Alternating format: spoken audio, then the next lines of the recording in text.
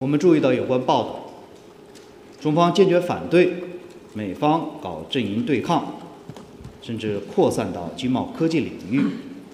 胁迫别国打压中国的半导体产业。美国的做法，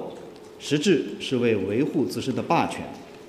剥夺中国正当发展的权利，为垄断价值链高端，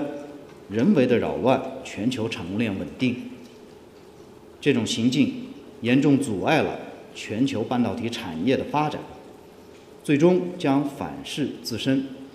损人不利己。希望相关国家明辨是非，坚决抵制胁迫，共同维护公平开放的国际经贸秩序，维护自身的长远利益。